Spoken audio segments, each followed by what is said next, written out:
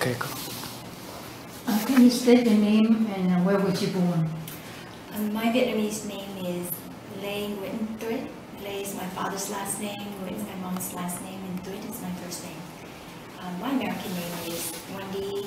My married name is Tucker.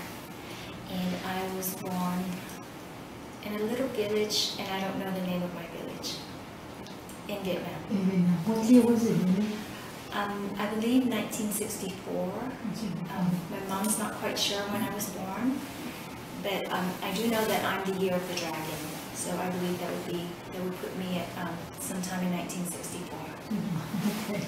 You remember anything about your hometown where you were born? Um, I was born in a, a little town, in a little um, jungle somewhere, but eventually, after my dad passed away, we moved back to my mom's side of the family, uh, which was in Gutla. Canada. Yes, um, Nha pretty Trang. small. Yes, yeah. Cam Ranh and Nha Trang area. Yeah, but Mhm. gun, gun, um, um, the church. Mm. Yeah. Um, and then we lived there for, I would say, eight years. And then the war, um, in 1975, um, when the war ended, we escaped. Do you feel the war around you any when you were little like that? All the time. Mhm. We could, the vibration you could hear um, in the noise.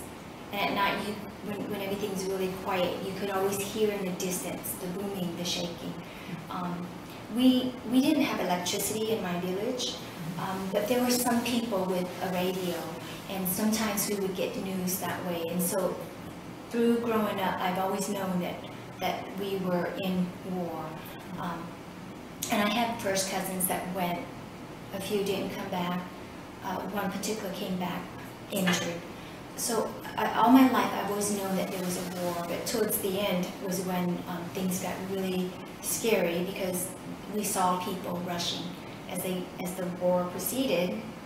People just rushed down, and they were literally strangers coming through, just running and crying and injured, and the noise was was the noise was really scary. It's just the noise. How, how life like in the village? I mean, you go to school? or- Um, my siblings and I did not go to school. Um, my, my, my dad passed away and my mom had six children and we were all like a year apart. And um, the baby was only months old when my dad passed. So we didn't have an opportunity to go to school, but we went to church. Um, and church was a, the biggest part of our life. Church and um, the next well, the biggest part was really scrambling for food. Every day was like, what are we going to do to eat? Um, so that was the biggest, really, it was a job in itself, always thinking about how we're going to snatch food, how are we going to find food, and then the next, the second priority really was church. And then after that, it was just nothing else. How your that die? Um, he, his younger sister was sick, so he was on a moped going to visit her. And uh, it was an American truck, a military American truck that ran him over, and, and he died from massive head injury. Um, so, do you remember when you received the news, you know anything yet or you, About my father? you about your father? No, I, it really sad. I was, um, I was two, and I don't, I don't have clear memories of him. Uh, my siblings have, especially my oldest sister, have told us, she has told us many, many stories about him. And I hear stories of people that knew him. Um, and sometimes I think I might have a little bit of memories. I'm not sure if it's a dream, but no. So you always wonder what he like and Oh, when yeah. you grow up? Oh, Yeah. Um, I heard that he had a really great um, father instinct. He, like when he went to weddings, I'd hear stuff like this. He would like wrap food up and bring it home to us. He wouldn't eat it. Like if it was served to him, he would save it and bring it home to, for us. So I hear stories like that.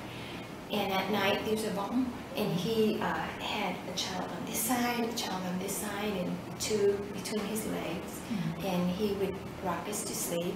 And just stories like that. He was very, um, he, he just had this, I guess we all have a parent, a parental instinct, a father or mother's instinct, but um, I, from what I was told, that my dad had more of a nurturing instinct than my mom did, which, you know, in our culture, it's, it should be the other way around. But uh, and so I, when I hear stories like that, I was like, oh, I love to hear that.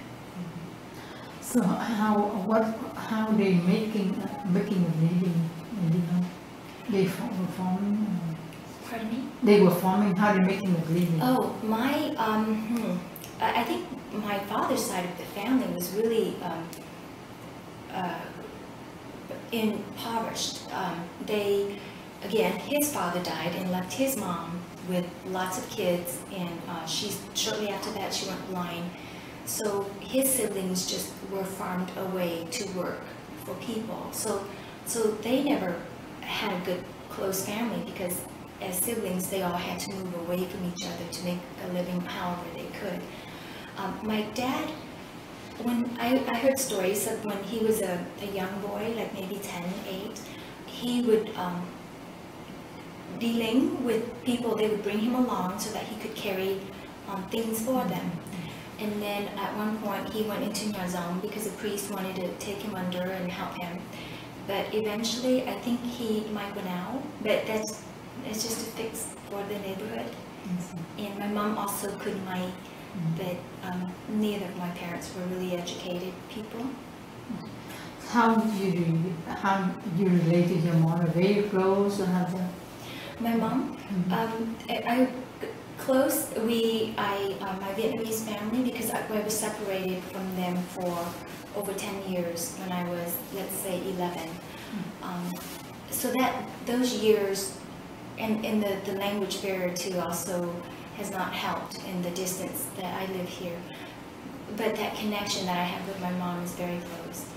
And in fact, my, my children, they have Bà Ngoại, and then they have um, an American grandmother, Bà Nội to them. And though my mom does not speak Vietnamese, they feel much closer to the Banoit, my Mm. mom, than the Banoit. But during the time of 11 years living with her, you have a very close relationship with her. How, how, what kind of activity Yeah. you had with her during that time? You know, my mom, after my dad passed, um, my mom became very sick. We initially lived by my father's side of the family, but I've heard stories that his sisters, after my dad passed, were not very nice to, to my mom or to us.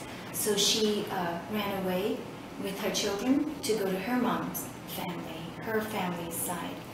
And um, she was sick a lot, so her parents um, took her in to nurse her, and so she lived, for the most part, um, from, from, uh, for a lot of the time, she lived with her mom and dad, and we lived, my siblings and I lived on the edge of a village, um, in, in a one-bedroom home, and there we more or less fended for ourselves. Um, our mom was too sick, and I remember, I mean, at, it's hard to understand how a mom could, but I understand, you know, as you get older.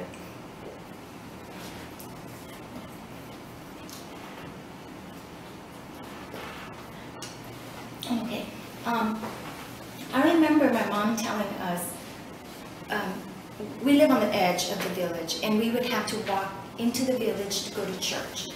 And my mom would always say to us, even if you're hungry, um, when it's time to eat, you can hang out and play in the village, but when it's time for meals, um, just say no thank you and go, go out, because, you know, she didn't want us to be around when, and our, our aunts and uncles lived closer to the church, and the church was like the center of life in my village, and so we, um, so with so many words, we understood that we were um, a burden to to our families, you know, our, our, our aunts and uncles, and, and no one had a lot. So, but we always felt like we needed to leave, and we always needed to say we're okay.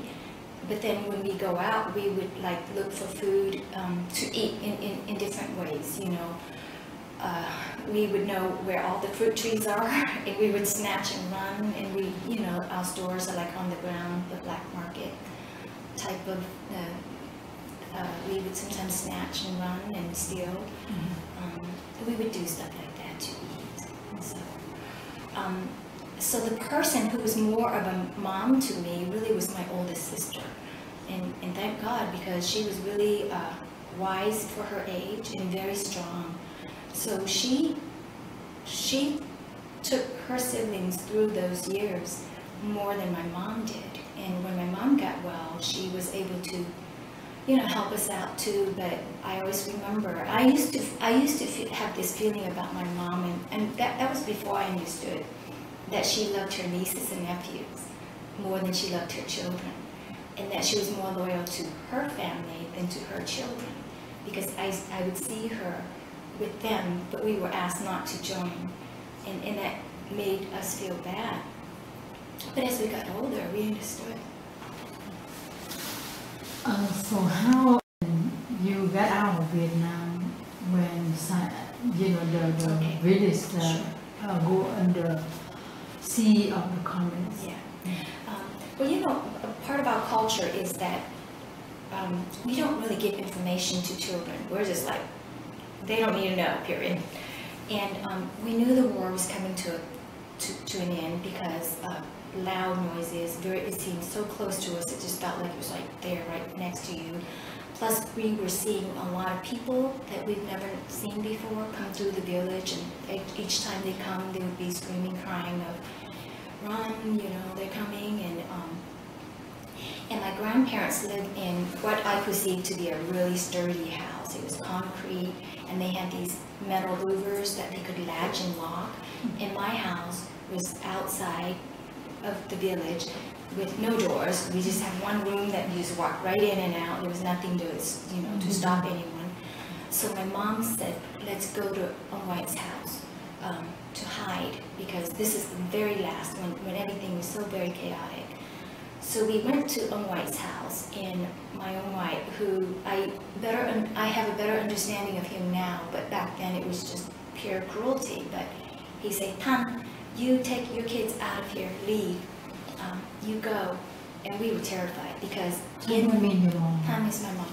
My, because i- in my small little mind, I thought that nothing could hurt us behind those metal louvers, no bombs, guns. And it was just, oh my gosh. It just seemed so scary outside. But my grandfather said, go. He said, go, take your children and go. And once again, I just felt like, oh, see, we're burden to them. They can't, they can't take us in. So now we go. So I remember him saying, go to the ocean, go to uh, someone, I don't know his name, but go to, go ask for this person, go to his boat. So my mom takes off running, and we of course followed her. Lots of people, so we have to like fight to hold on to each other so we don't get lost and fight through crowds and crowds of people. Because now there's a lot of people, just the ocean is where they're running to, and they're just people running, running. So we get to the ocean, and uh, of course, there's nothing that, there's no lines, there's no one telling you what to do, where to go, and it was just like, yeah, blah, blah, blah, you know, everyone's screaming, and I know I didn't know how to swim, so I was really afraid of drowning, but I, I just said, gotta go, go, go to the boat, you know, you just were given directions, so you need to go, so I go treading out there and feeling like I was gonna drown. Someone grabs me, yank me up and down, throws me onto the side of the boat. I'm hanging on, and eventually we get on, and um, we got on a boat. And it was, I didn't know this until later on as an adult when I found my mom. I, I asked my mom, I said, why was Ông Ngoại like this? Why did he chase us out? And she said, um, he said that of his children, he felt that we had the worst chance of surviving Yeah. in Vietnam. So he took a chance and he asked his godson, who had a little fishing boat, um, could you do me a favor if, if my daughter and, and her family show up? Just take them. We don't know where they're going, but he just felt that of his children, we were, uh, had the least chance of surviving in Vietnam. So that was a good thing. He, he thought of us. So what happened next after you get into the boat? Where Well, went? of course, no, a lot of people, we crammed into that boat, uh, you know, I mean, I'm sure the boat was only meant to take maybe ten, but we ended up, you know, people, when you couldn't turn them away, they're hanging on, they're climbing on, so the boat was jam-packed. Um, I know that my family had no plan of going on the boat, so we went with no shoes and just whatever clothes we had on. Uh, there was no water, no food, a lot of seasickness. Um, eventually, we, we went out and they were still shooting at, shooting and hand grenades were thrown out. You could see it all around you, but along with our little boat, there were lots and lots of little boats, because my village was a fishing village. So lots of little boats are out there, some got capsized. Um, we went out to the point where it was safe from the shooting, so I felt a sense of relief once we passed that point and the noise was behind us. But then it was the next phase of how to survive the ocean. and you know, the ocean looks so beautiful when you look out from, from the shore, but it's tremendous when you're out there. And it's just endless. And the motion and the sickness and the sun, and there was no coverage. And, and it was so scary. And so we, we floated out there for three days, I think. I mean, in my mind, it was three days. Floated out there, I did a lot of praying. Uh, several times I thought, this is it, you know. Weak, Yeah. But eventually, um, there was a U.S. ship that came, and um, the ship. and at first, I remember, oh, it's another thing. Drinking was, you know, when you're thirsty. I think you can handle being hungry, and Longer. eventually, your body, you just get weak, and your stomach just becomes numb, and you don't even feel hunger anymore, other than just the weakness, just breathing and sitting up is an effort. But when you're thirsty, that hunger, the feeling of being hungry, that feeling goes away. But when you're thirsty, that feeling just never goes away. So being thirsty, I just remember just so dry and thirsty. But the gray clouds would come and go out in the ocean. I mean, just little gray clouds would come constantly, but it would go so quickly. And we would, you know, try to catch water how we could. And, and so I, I remember that, uh, being thirsty. I'm always afraid to be thirsty now.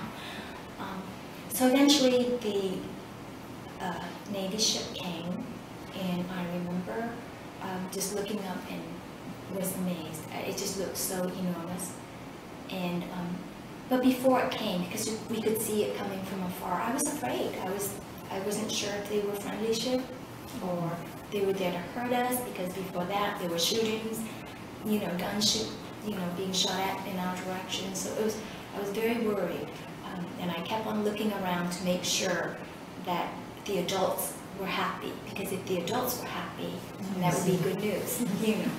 And I remember thinking, is this okay? What if they just turn away from us? You know, they don't even want to pick us up?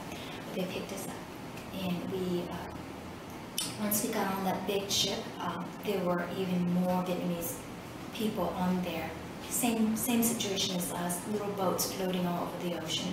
And this ship was going around picking up the boats and putting the people in. And um, I, then we landed on Guam. We arrived. You remember when you into a big ship, how many people and how they fed you? We were so, um, this goes to, to show how not smart my mom, I mean, uh, we were, but we were just so used to sitting on the deck with the, with the element shining, the sun shining on us. My mom quickly says, go down to the lowest level. So we hurried, push our way down there to the lowest level. The lowest level was where all the waste went, you know, the smell of the stench, and there was hardly any uh, clean oxygen, so of course we got sick, sicker than, you know, just, um, so we quickly climbed up onto the deck um, to get a, some fresh breeze, and, and we were given food, and um, so, so it was, uh, it felt good. I mean, I felt like, oh gosh, the worst is over, we're safe, we will live now. that's your feeling when you get checked out into the Yes, and there were so many Vietnamese people on that boat too, and and um, it just it just pockets of people just sitting around each other.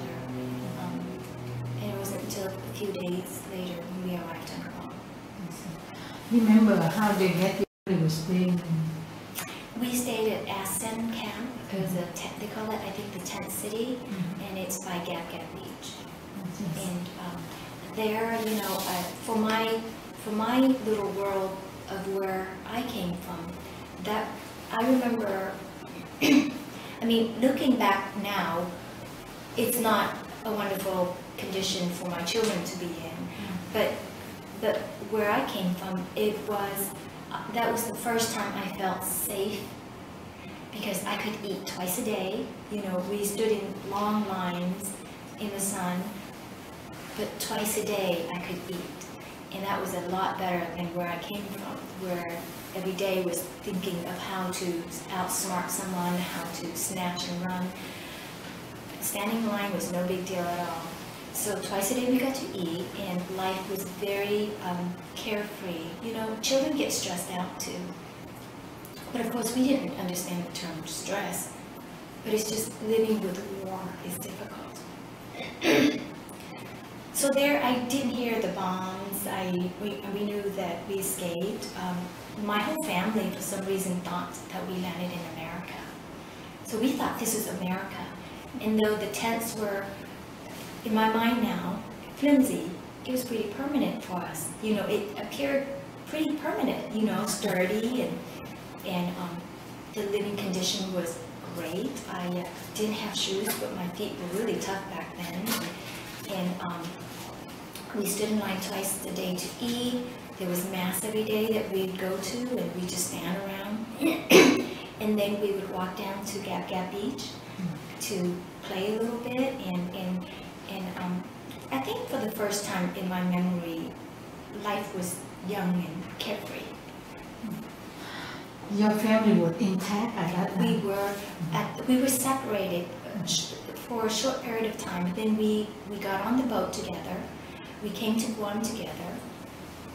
And, um, yeah, so we were in the tent city together, all, all six of, my, six of, my mom and the six of us children were all together. How long your family stayed in the tent city?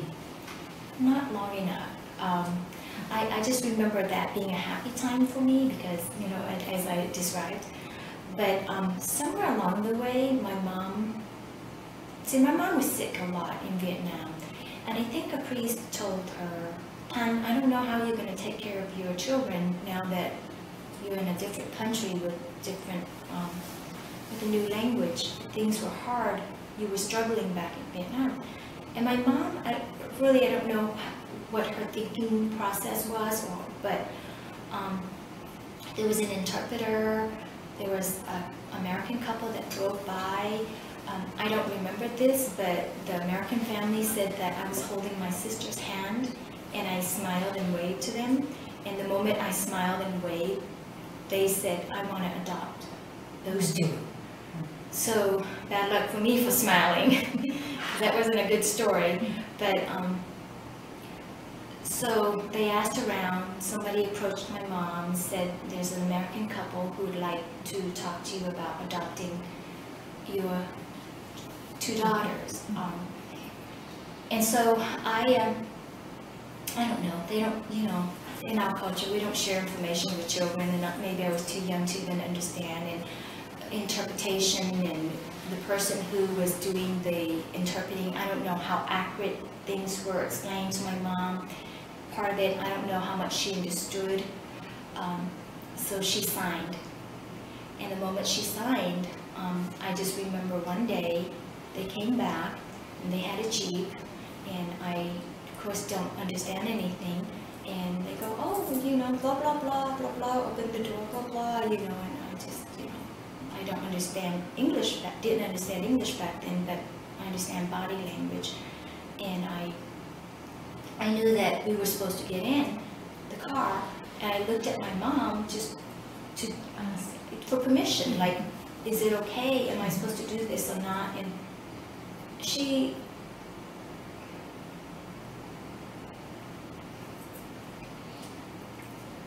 Can we pause? You want to talk? Do you Yes. want to take a rest. or- Yes. Okay. Yeah. Okay. Um, You got out of Vietnam when, you know, the, the Okay. British uh, Sure. uh, go under sea of the communists. Yeah. Um, Well, you know, a part of our culture is that um, we don't really give information to children. We're just like, they don't need to know, period. And um, we knew the war was coming to, to, to an end because uh, loud noises, very, it seemed so close to us, it just felt like it was like there, right next to you. Plus, we were seeing a lot of people that we've never seen before come through the village, and each time they come, they would be screaming, crying of, run, you know, they're coming, and, um, and my grandparents lived in what I perceived to be a really sturdy house. It was concrete, and they had these metal louvers that they could latch and lock.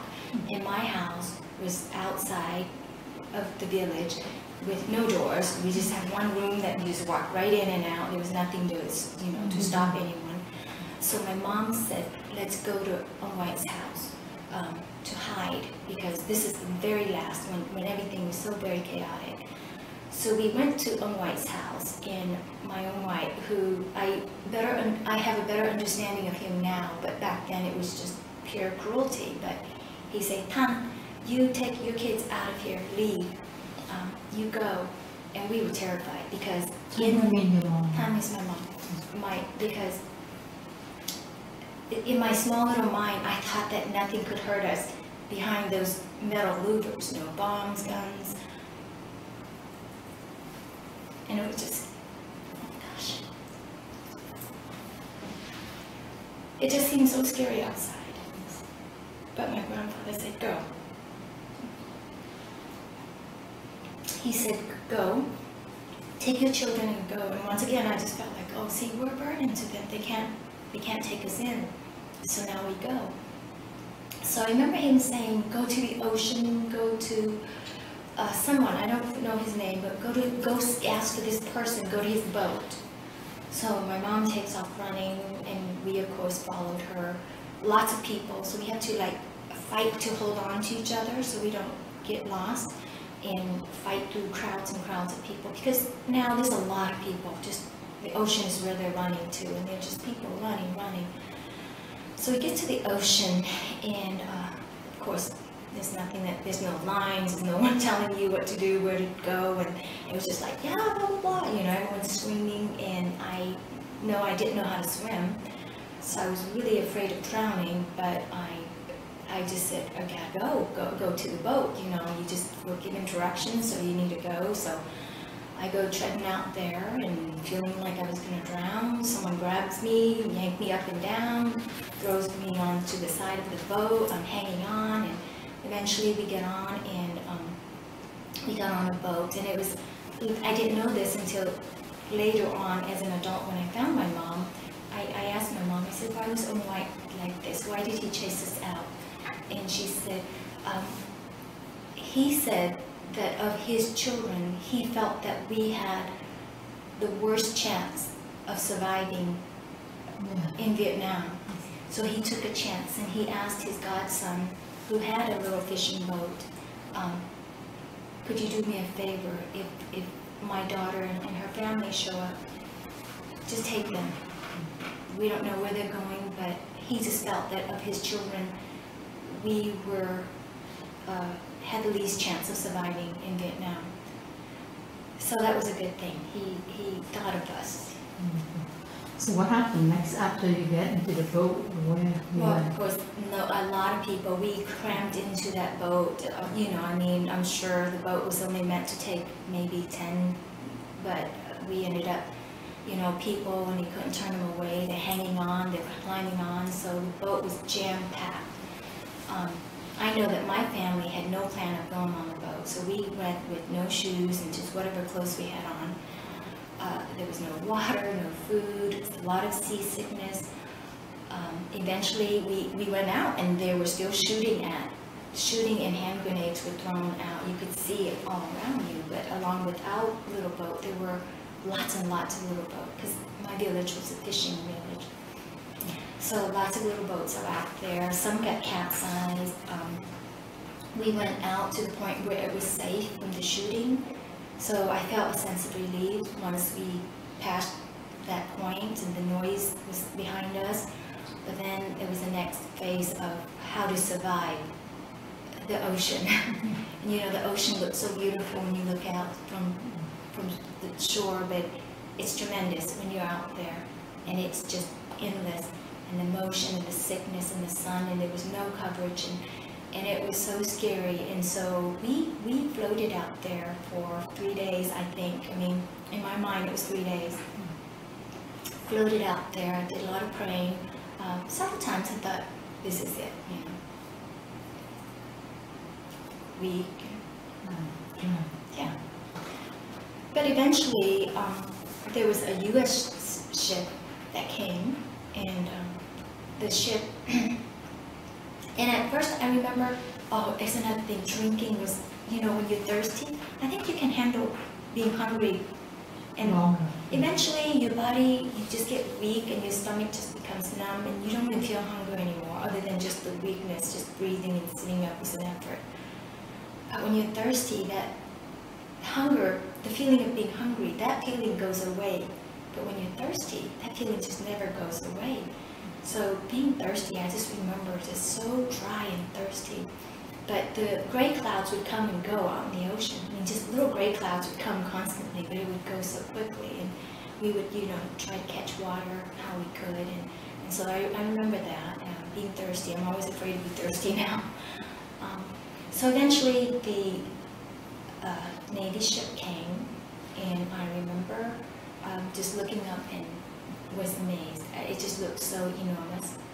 And um, but before it came, because we could see it coming from afar, I was afraid. I was I wasn't sure if they were friendly ship or they were there to hurt us because before that there were shootings, you know, guns shoot, you know, being shot at in our direction. So it was I was very worried, um, and I kept on looking around to make sure that the adults were happy because if the adults were happy, that would be good news, you know.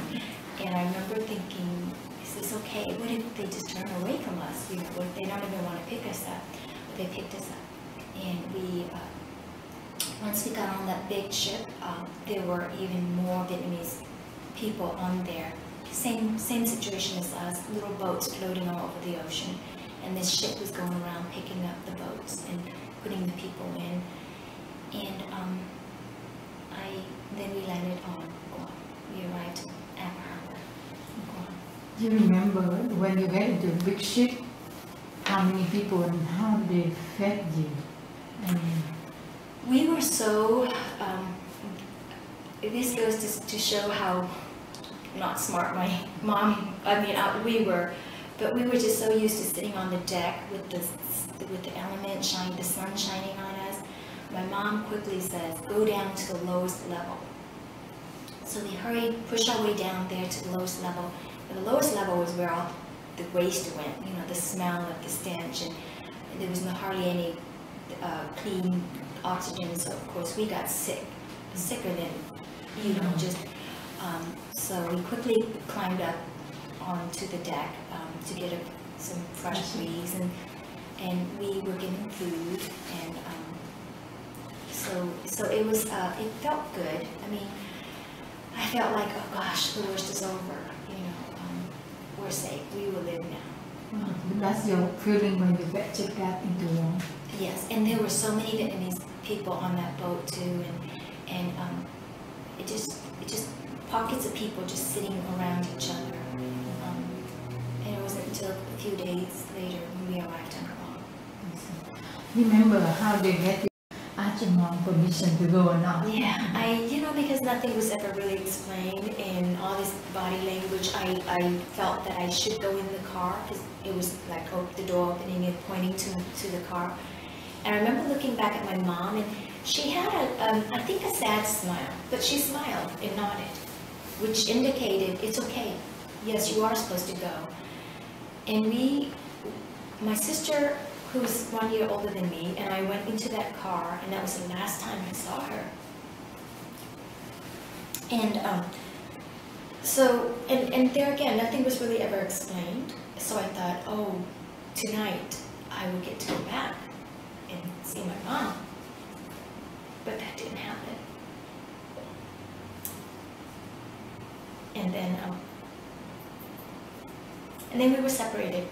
But later on, I had heard that um, because there was another family who adopted uh, some Vietnamese kids, I think four of them, and they said, oh yes, um, it seemed like that family, the adopted family of the, uh, of the other Vietnamese kids, it seemed like there was communication between the parents and the adopted Vietnamese children, where there was no communication with, with my sister and me. So we were always like every morning.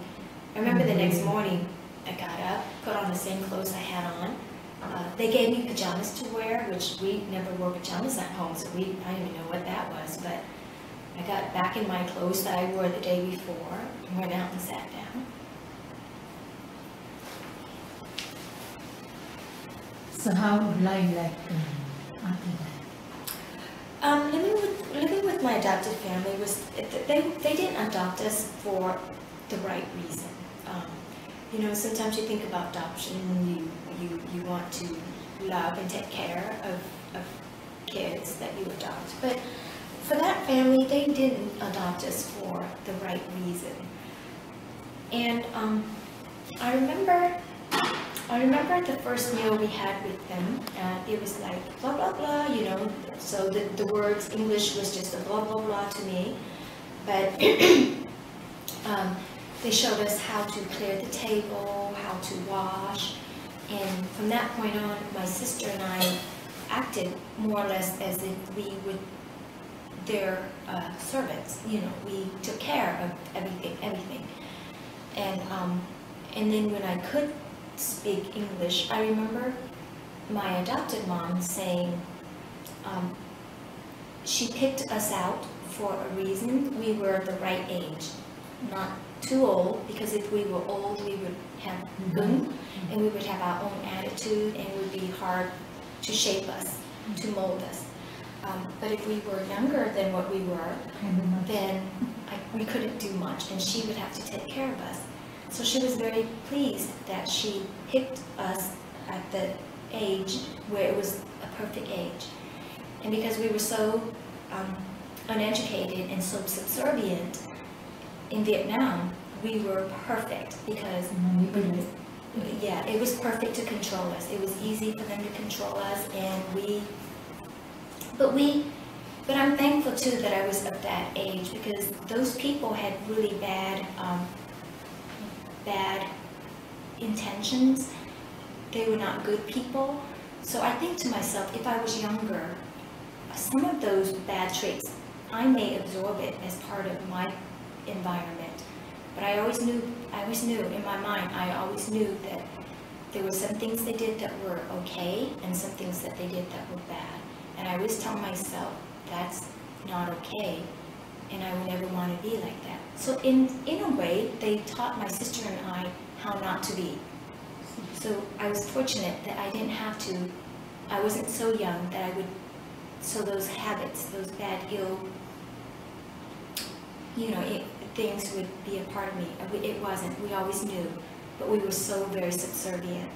We did everything they wanted us, didn't fight back, there was no thought of running away, we were just so compliant children until we left. And when we left, we never looked back. I see.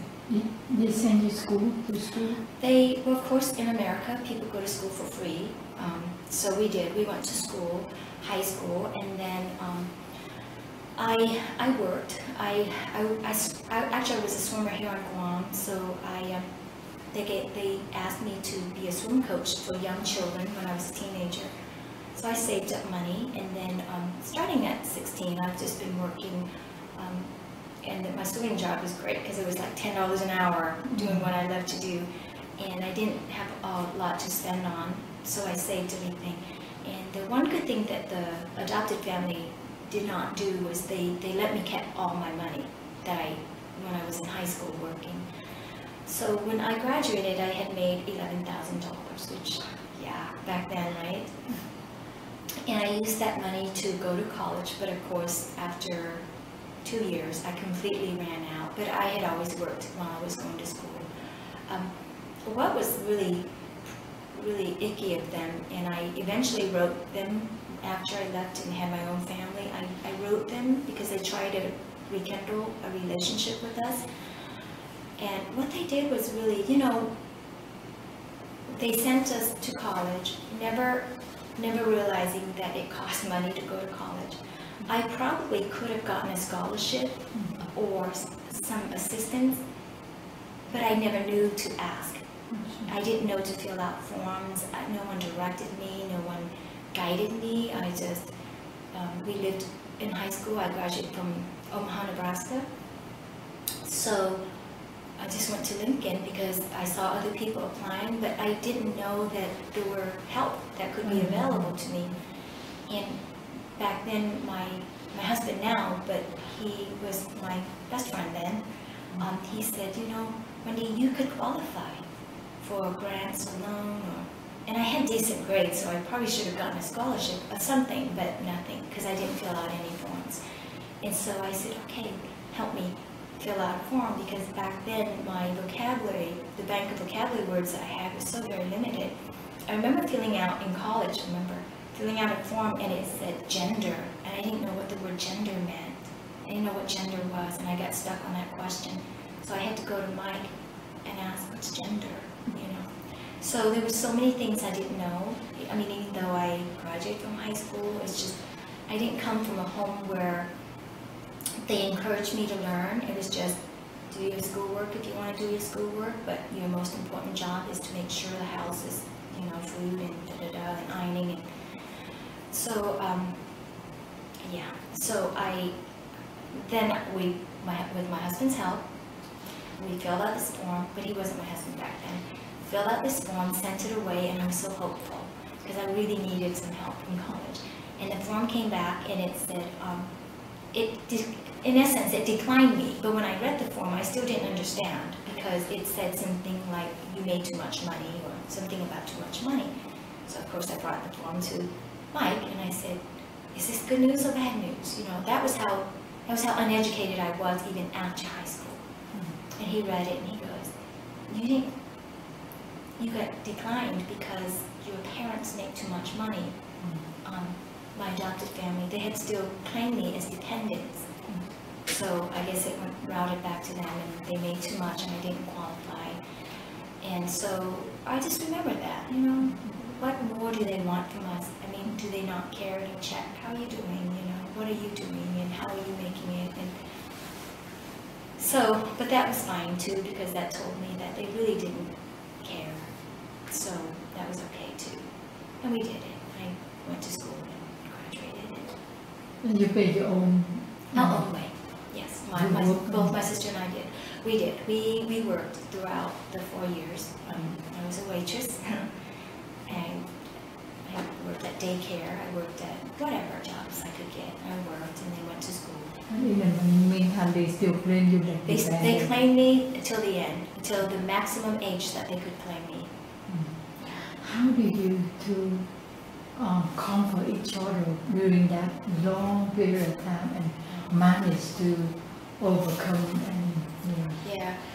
Well, that's another tragic story in itself, so com- complicated here. But um, my sister is only one year older than me. Um, and the weird thing about my adopted mom was that she picked a favorite of the two of us and played us against each other. And um, um, she picked me to be the favorite. And so she would say, and my sister, though she's older, she's a little bit shorter than me. So in, initially we were both on the same swim team. And she would say, how come you let your little sister beat you?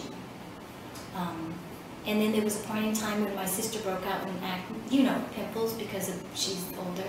Um, look at your dirty face, you know. How come she? How come her face is not? Well, of course, later on I broke out too. So, and um, because my sister was shorter, it appeared that she was a little bit chunkier, and and she would say stuff like, "Well, how come you're fat? You know, your sister's not fat."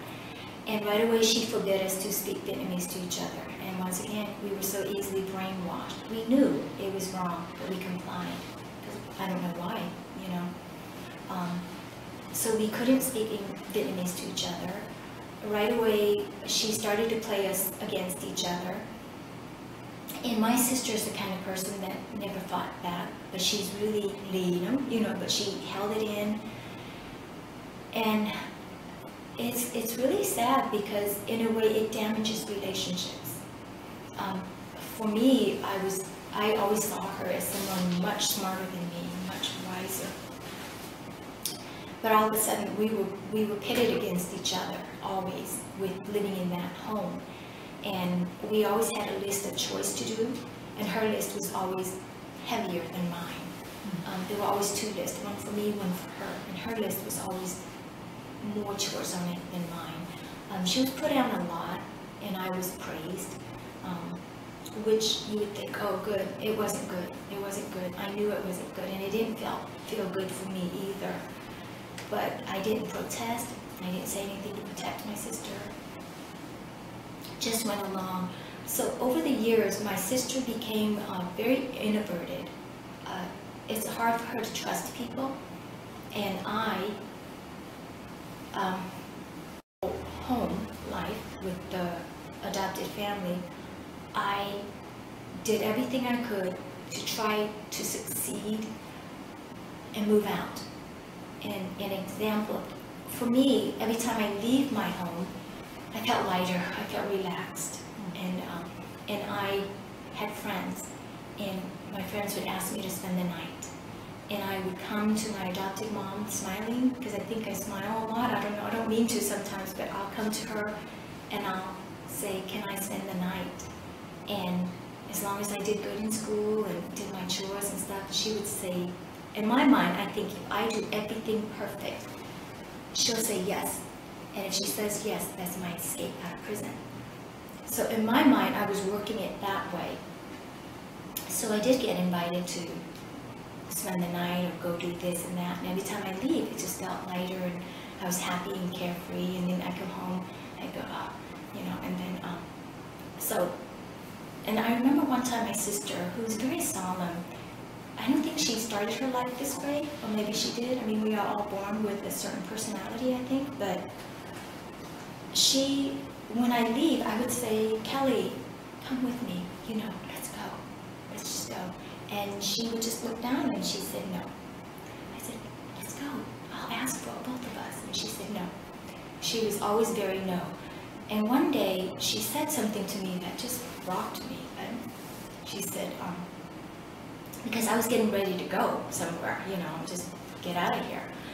So she said, you know, Wendy, you're a very weak person. A very serious, she said this to me. And she's, she's always been a kind sister to me. And I said, what do you mean? And she said, she said, how can you allow her the satisfaction of granting you your happiness? I would never allow her that power over me. And that statement was so powerful.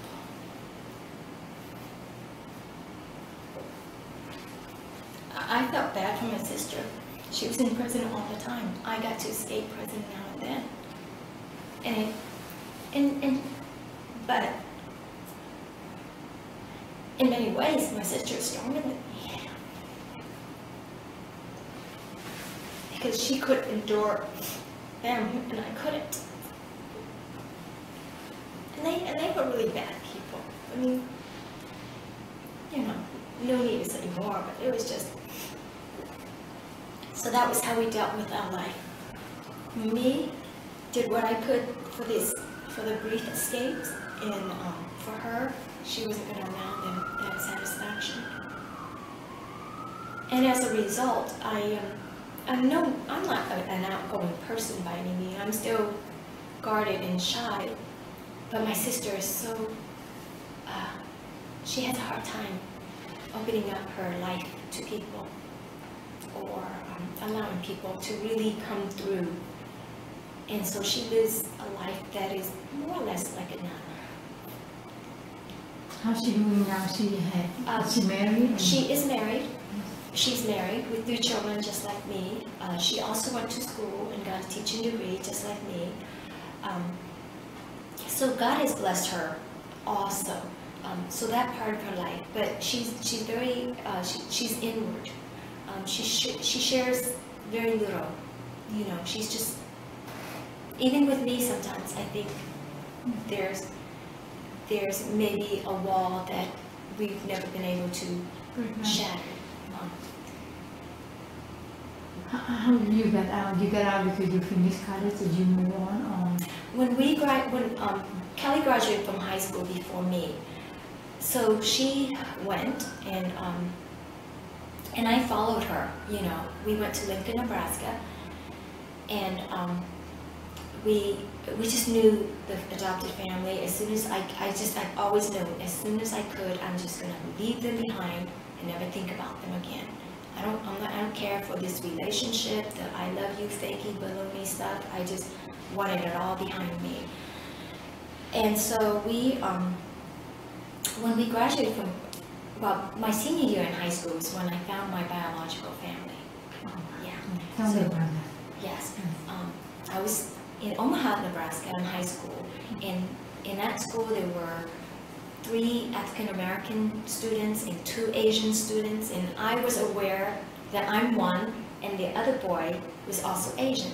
But I didn't know what kind of Asian. You know, he, I just knew he was Asian. I was very shy and I would see him walking and I would just look up and nod and he would nod. And the whole entire year went by like that. And then it was March.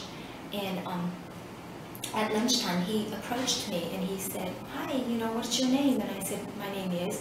And then he said, Oh, my name is this. Where are you from? And I said, I'm from Vietnam. And he goes, Oh, I'm from Vietnam too. And I guess for most people, they don't really recognize me right away as Vietnamese. So he's like, I didn't know. Had I known, I would have, you know. He's like, I'm Vietnamese too. So we talked, and I said, I don't know how to speak Vietnamese anymore, but I remember. I remember things. And he said, What do you remember? I said, I remember my village where I grew up. I remember my grandparents' name. I remember my mom's name. I remember, you know, and I just told him the things I remembered. And he said, Well, how come you don't speak? Do you not live with your family? And I said, No, adoption. And long story short, he came home um, and he told his mom, Hey, today I met a girl, blah, blah, blah, her name, her village. And the mom says, That sounds familiar. That sounds like uh, there's a lady that, that has asked the Catholic churches around uh, to help her find her two missing daughters. And um, it sounds familiar. It sounds like it's that story. So several phone calls later, he gets my sister's, my mom's living with my oldest sister, he gets my sister's phone number uh, in Texas. So the next day um, at school, I'm so excited because now I found my first Vietnamese friend that we could talk, you know, and reminisce about some things. And of course, we spoke English because I couldn't speak Vietnamese. So I, uh, I, uh, he came and he says, I have my your sister's phone number. She lives in Houston. And I was shocked. And because my Kelly, my older sister, who's adopted with me, our plan was she was going to go to college, and I was going to go find my family and help support her while she's going to college. And I'll find my our family because I see myself as the tougher of the two of us. You know, I because she's very quiet and reserved. And I said, I, you're smarter than me, you go to school. I'll go look for our family. So when he said, I have your sister, your oldest sister's phone number, and, and your mom's with her, I was so happy. But he said, but you have to, you have to call her right now, collect call. And I said, I'm not ready to do it here because it was in school, out in the hall. I said, I'm not prepared to do it right here. Just give it to me. He goes, no, your sister wants you to call now. So he goes and he dials and he gives me the phone. And uh, I, I remember I, I heard her voice and, and you know, it had been, uh, it had been like 10, 10 years. I heard her voice and she um, tried to speak to me in Vietnamese and I said, I don't understand. And then um, she's, she wasn't sure if I was the real person yet. And she said, what's, what's your American, what's your Vietnamese name? Uh, were you adopted by yourself? You know, all these trick questions to see if I answered it correctly. I said, no, I was adopted with my oldest sister. Her name is Phuong. And, you know, just gave her each question she asked, I had to, I answered it. And after a whole series of questions, she said, you're my sister, I'm Chi Minh.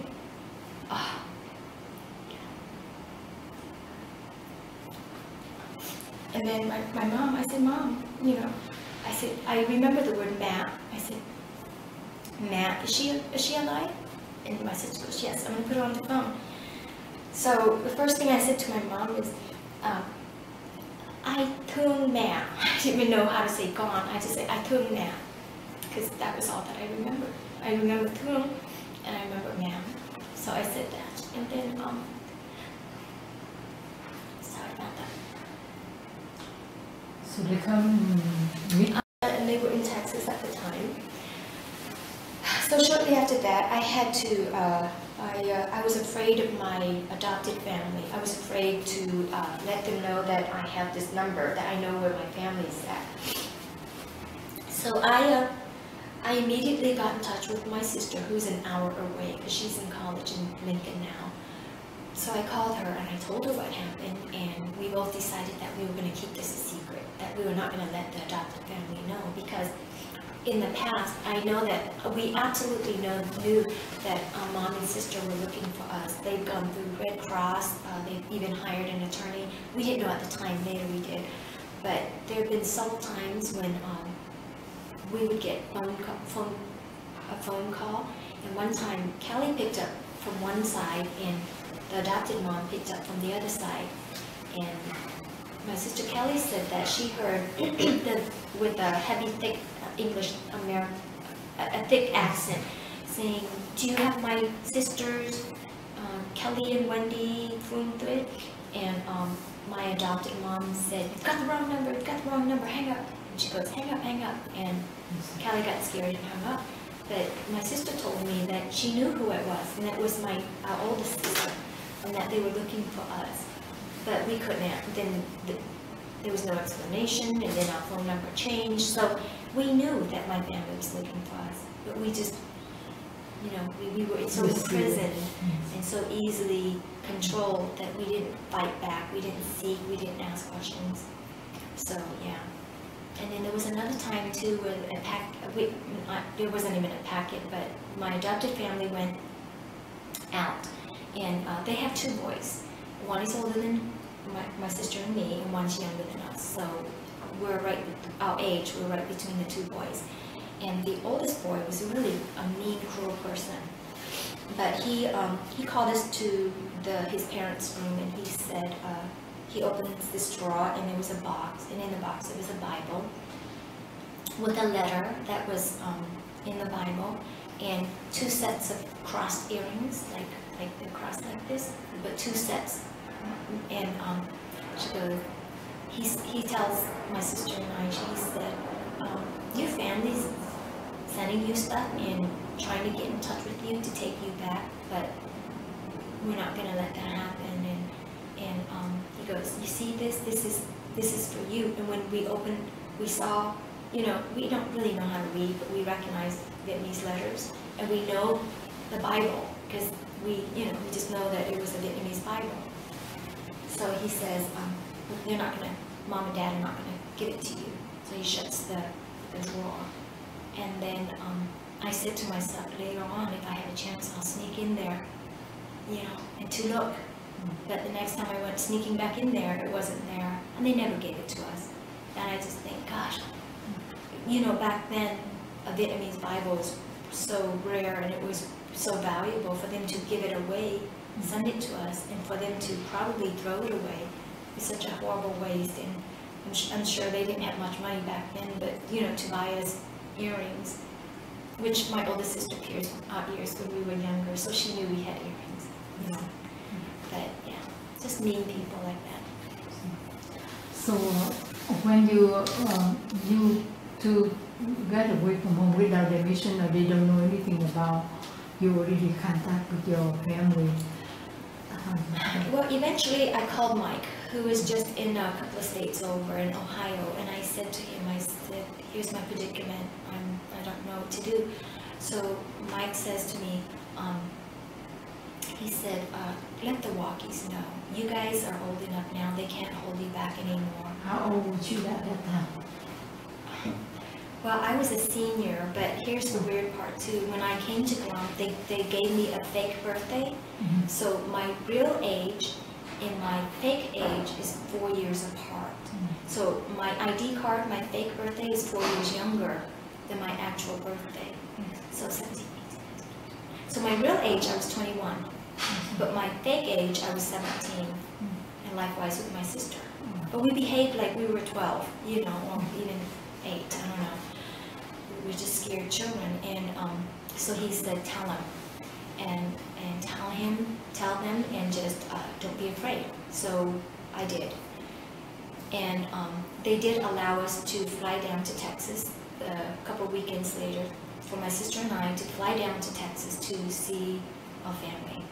And that was our first face-to-face meeting with them. And then, of course, the following year I went to college and um, every summer we would go and spend summer with my sister and our family in Houston. Tell me about the first time when you met your mom.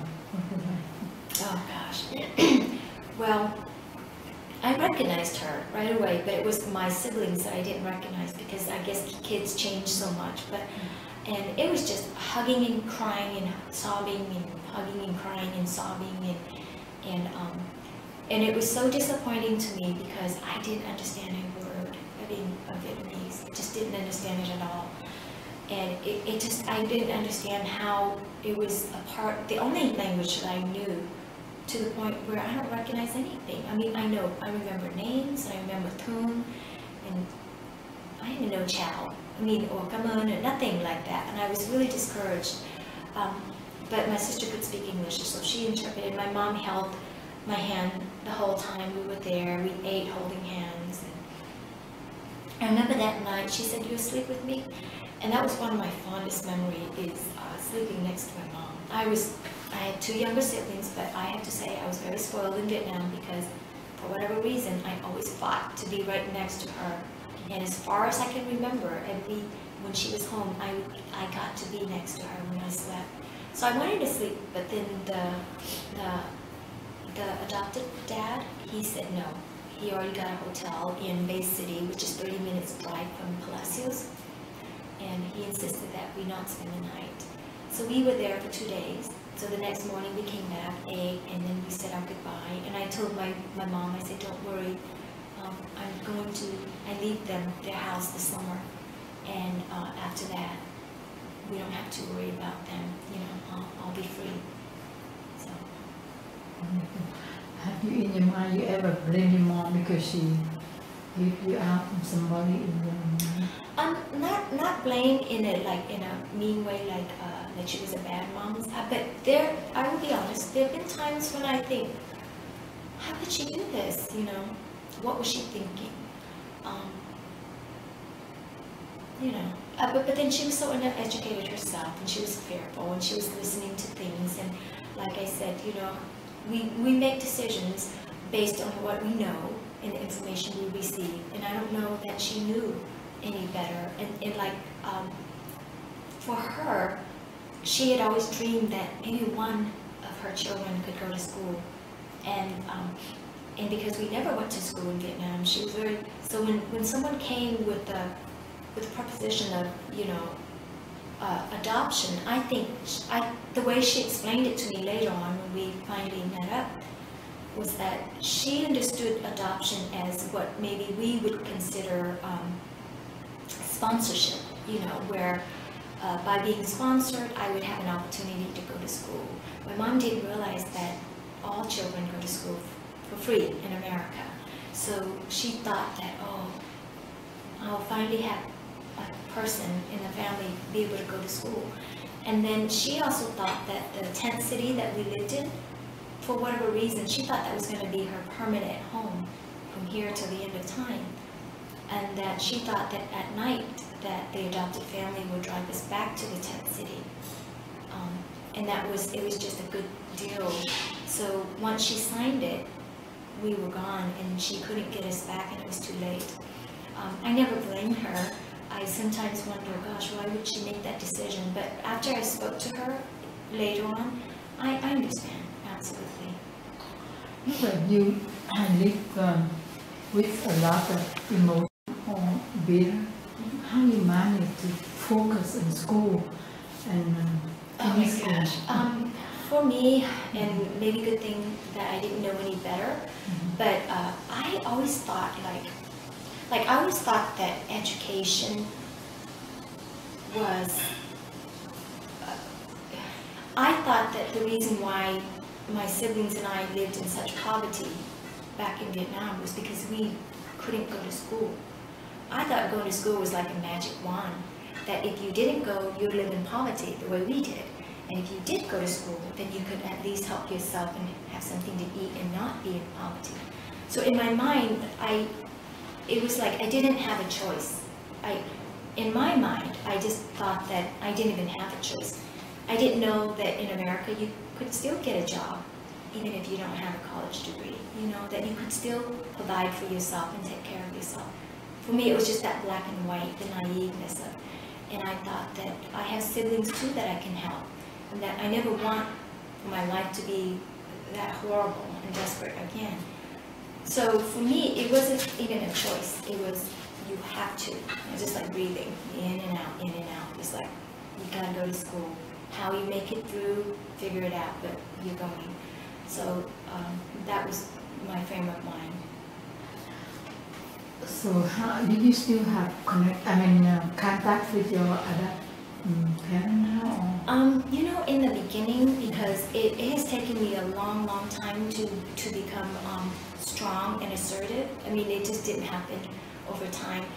And here was something else that I had that I had known about myself was all those years when I was weak and um, and, and didn't stand up, didn't have the courage to, or it, it upset me. It, it bothered me, and um, I have I was I was a shy person back then, and uh, lacking in courage and confidence. And I uh, and I for some reason I always knew right and wrong, right and wrong back here. What I liked about things that were in my life and what I didn't. I for some reason I've always separated the bad list and the good list. And I have always admired um, strong, intelligent women because that was what was lacking in my life. I was not strong and I was not intelligent. And I always wished to be. So I always looked at strong and intelligent women and say, oh, I wish someday I could, I could be, you know, I could be a little bit like that, just a little bit. So through the years, uh, and I think that with reflection, uh, you could sort a lot of things out if you're self-aware. So the good part was I was self-aware, I just didn't know how to get there. And then I think for me, the growth has been very slow, but it has progressed. And you know, I didn't go, I don't think I've gone backward, I hope not, but I've always strived to go forward. But the, the but when I became a mom, and that's the best part of my life is being a mom. Um, you know, as moms, we teach our kids, you know, be honest, work hard, blah blah blah. And as I preach these um, these traits to them, I, I I I hear it, and then I feel like I'm because I say it, I have to show it too for them. And so I I teach my daughters be independent, you know, be be educated, be strong, strong doesn't mean that you need to be the loudest person in the room or bullying anyone, but just to know what's right and wrong and, and, and just follow your instinct. Um, I think I've always been a happy person because I remember stories. I don't not really remember it myself, but my siblings tell me that when we were small, and sometimes you know, you know, Vietnamese moms when they whip, it's harsh punishment. And sometimes my mom would like whip us with branches, and those branches go everywhere. It's not just one smooth stick. She would just whip us, and I don't know. It's just, I guess back in that time, it was that's how you discipline your children. and um, my mom would do that, and I would cry. And as soon as I wiped my tears, I'd be laying on my back, holding my foot up in the air with my hand, you know, just playing with my toes and singing, humming, or smiling. And my, my, especially my oldest sister, she used to say, she doesn't hold grudges. I think she's dumb, you know. They used to say that I, my siblings would say, she's pretty, but she's dumb. part of that was um, it, it seemed to them that I didn't hold grudges. That um, after being chewed out or punished or whipped, I, I bounced back. I, I smiled and continued on. And, and I remember, I think they took that as a sign of not so smart because not so deep. You don't process that you just get, you know, beat. And, um, but I don't know. I, I, I just feel like I'm so blessed, so why hang on to the Ekisa, you know? Yeah. So you come back then. I had to change the battery.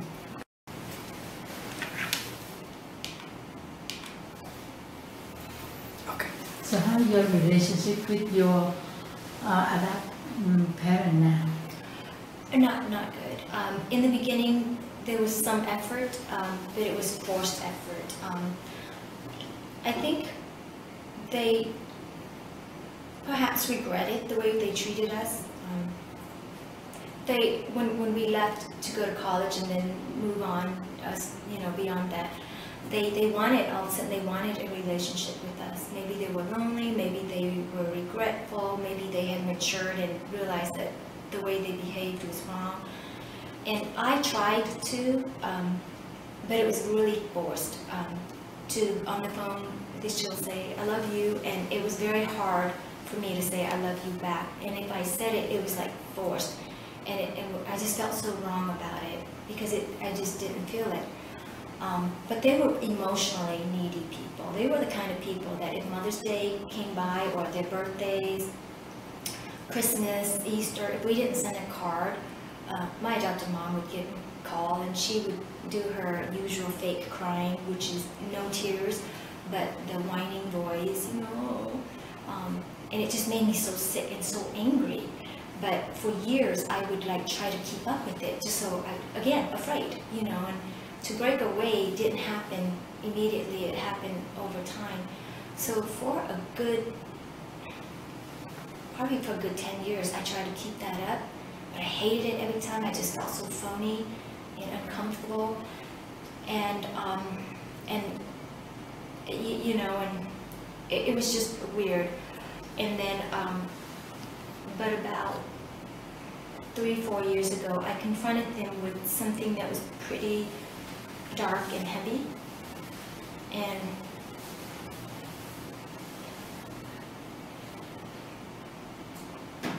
and since then, blessing because they are in those times they're they don't expect anything from me, which which is very very good because um, you know it's it's I know like. Um, with our religion, we're taught to forgive. And, and we can, and we should forgive, but, you know, just forgive, but it doesn't mean that I need to continue to, to burden my heart just to make them happy, you know. I can forgive them, and I can say, let us move on, let you be happy, and let me move on. But I don't, I don't want connections with them. How your I know you talked about your husband a little bit during the time, the story. Tell me about the relationship between you two. Yeah. Well, in 1975, I uh, came to Guam, and he he li- he lives on Guam. Uh, he grew up here on Guam, and we were on the same swim team. But he was a little brat boy back then, you know, threw rocks and ran around, and and um, I was a serious girl and serious with swimming, and and after three years living on Guam, we moved because um, the military, they moved. And then three years after being away from Guam, we came back to Guam for the second tour. And um, we, uh, I signed up for a life-saving course, and he was there. I, I didn't re recognize him. I don't really, didn't even remember his name. But when they called my name, he recognized my name. And, um, and then uh, he I, he says he swore right then and there that he was going to get married to me and we're going to have a family together. But I, of course, didn't see that, didn't sense it. How old was it?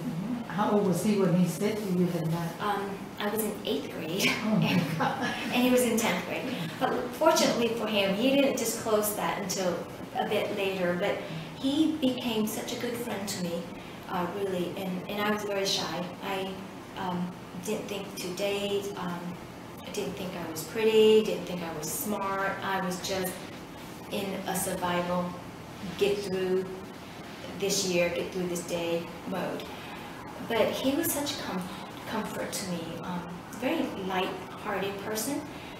And um, eventually he uh, got his license. So, you know, he, if I spent, if I was invited to spend the night somewhere, they would say yes, provided I had transportation.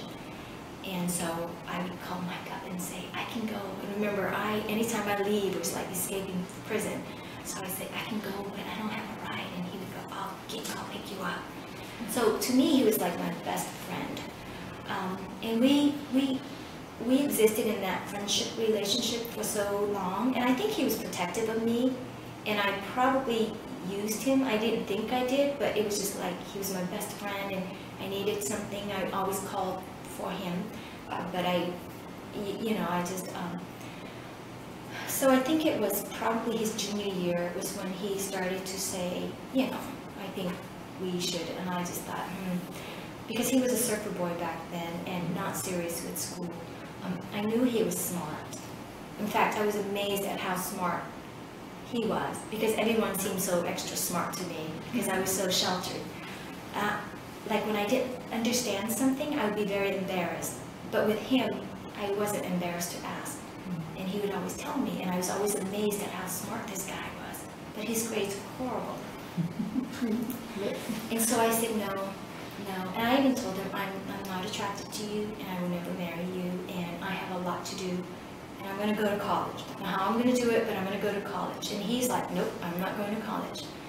And um, so I said, well, see, then we're never going to get married you know, I mean, I, you know, I don't know, I just had, uh, probably too ideal, if you will, but I had a list of things that I needed to do uh, for myself. And I kind of expected that from my future whoever, but he wasn't like that. And, uh, but I knew deep down that he had always cared and loved me, like nurtured me really, even as if he was an older brother. And then when I went to Nebraska to finish my two last year of high school, he um, stayed in touch. And then he, uh, for my senior prom, he showed up, but I was already going to the senior prom with another guy. So I said to him, see, you're so stupid, you know he knew that before he came too, but he thought that I would just drop him. But see, I didn't have the boyfriend and girlfriend relationship with him for the years that we were in high school. So I said no. And then um, I enlisted, after that, I went to University of Lincoln, Nebraska, and he packed his bag up from Guam and showed up in Lincoln. Um, had $300 that ran out really fast, didn't know what to do, so he enlisted in the Army um, he knew, you know, during those years he grew too, you know, because he was just a beach boy. So he figured that in order for us to have a future, he needed to go to college as well. So he ended up going to college in Nebraska, Lincoln with me as well. So really we were together, but not as, you know, for eight years. And then eight years later, we got married. And I guess my condition was when he's done with college, we can get married. So So like in uh, Việt Nam War it yeah, nếu không đậu thì không đậu nói you know it's the old war that the girl always tell the young man that if you don't graduate or you miss school we never uh, get even we can get married but we're not gonna have a relationship husband and wife relationship. So that's uh, your story right there And I don't know why, it was so important to me that, Mhm. that It's it, it was, it was just for whatever reason, that was, Yeah, your your uh, education, uh, you know, um, uh, need not even change you, but change your husband. You know, that's a wonderful story that I like to share with a lot of people. Uh, so, tell me about the day you get married. How, how who come? Who didn't come?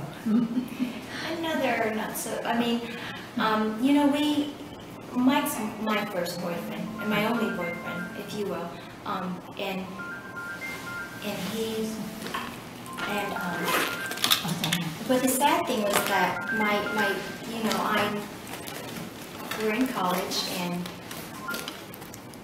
and, um, and I talked to my oldest sister and I said, you know, I would like to get married. And back then, it was in 1990, um, the mixed marriages, the interracial marriages was not so good for my family. And um, my mom and sister were very, very disappointed that I was going to marry um, a Caucasian American person. Uh, they were very, very disappointed. In fact, when the summers when I went to visit them, I always felt like there was always someone there that they wanted me to, you know, uh, get married to. But it just, you know, I mean, I think it would take it would take that person eight years to get to know me before I say yes to them. So, so, so she wasn't very happy with the fact that I was going to get married to to Mike, who's Caucasian, and um, and she wanted a certain way of the wedding, and it needed to be beautiful and proper and invitation like this and that. And I am very minimal. So, and um, and on top of that, my husband's family, they're like, no, you get married, you get married, you're on your own, you know. We're not paying a dime of it, you know. And both of us were just college kids with uh, loans you know.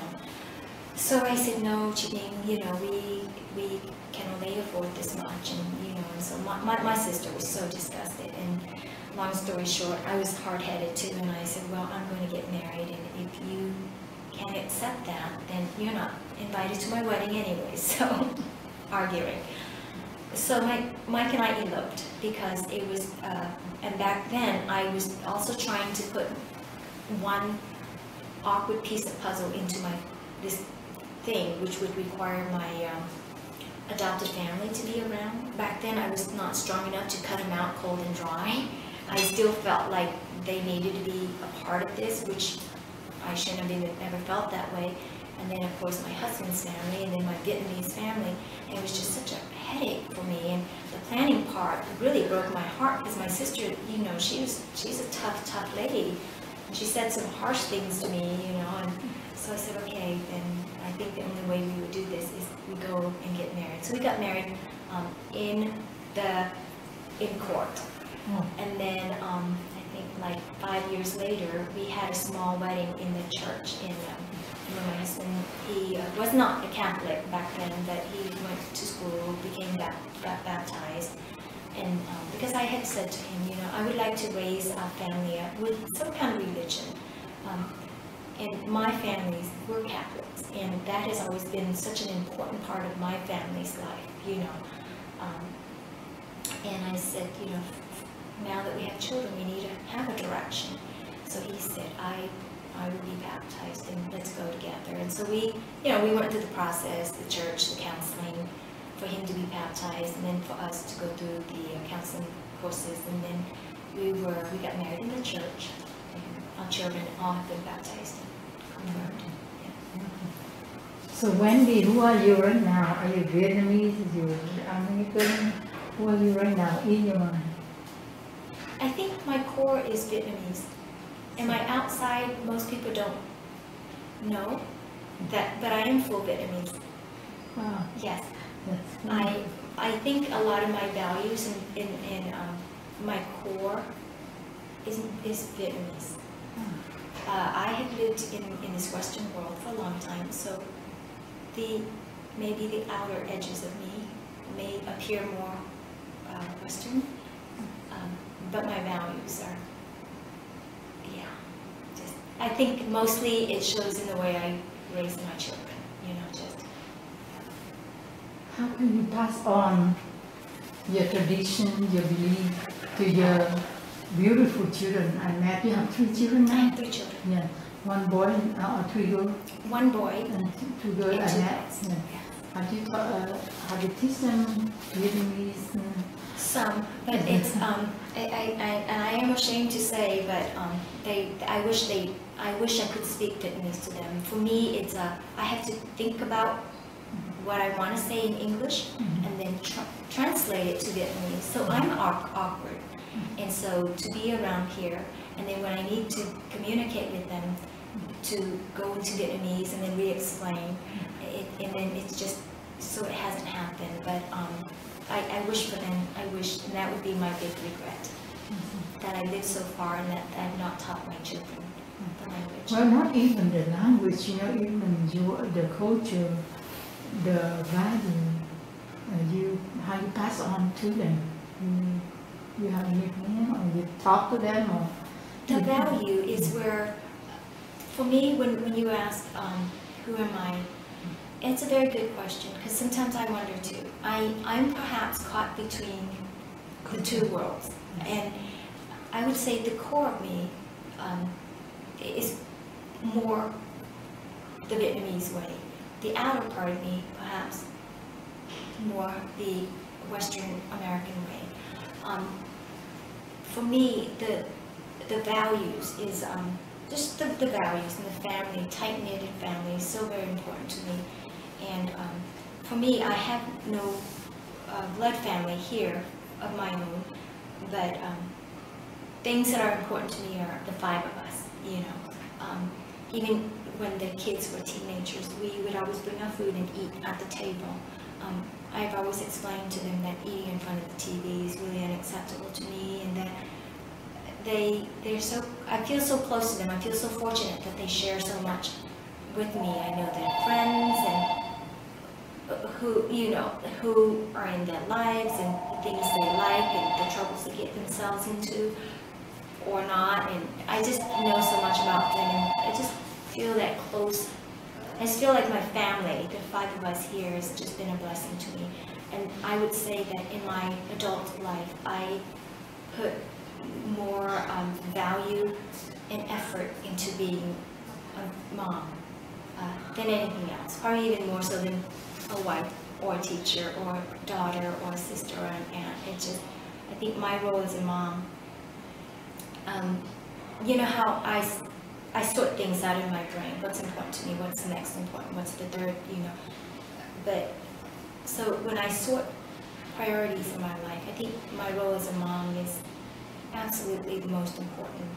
Um, to the point where sometimes my husband will have to remind me that it's us who are supposed to be, um, and the kids come after me. I was like, yeah, but um, What, what do you think that, um, what, what, what do you have that you think attract your husband that much? I don't know. I don't know.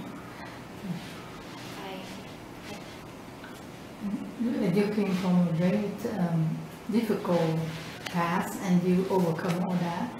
And I can see- see that you're a very strong person. And, um, you know, you always try to do right thing and you know from wrong to right. And I'm wondering, do you have any pleasure or any, I mean, hobby or anything that, uh, you know? I love to read. and I know that Chitai here loves to read too, which, which, um, which was really thrilling to me. I, I love to read, but uh, most, mostly I love to do things with my kids. I'm, I don't work out, but I'm physically fit. And when they were young, we would hike and we went sailing and scuba diving and beach and all the physical things that they can do, I could do because I'm also competitive. So I uh, made sure I stayed right with them as they, you know, did stuff. And um, my hobby is just hanging out with them. We, we ski. We're a skiing family, snow skiing. We're boating. Uh, we do lots of hiking and physically we're an active family. And I enjoy all of that uh, with them. I also enjoy reading. And one day when there's a little bit of, one day I will, I would also like to write poetry and short stories. And then I think you should write a book about your life. That's a propose. uh, one thing I want to ask this is the last question. Sorry, go. Oh. Okay. But when you, um, how do you, I mean, teach your children?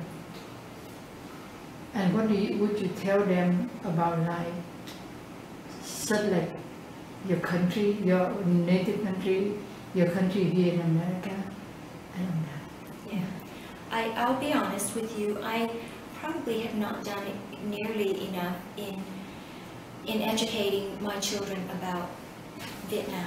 And I, I think that that would be um, a fault of mine. Um, I, I, they know some. I wish for them to know more, and, and that's lacking on my part. Uh, and I, I, that is lacking on my part.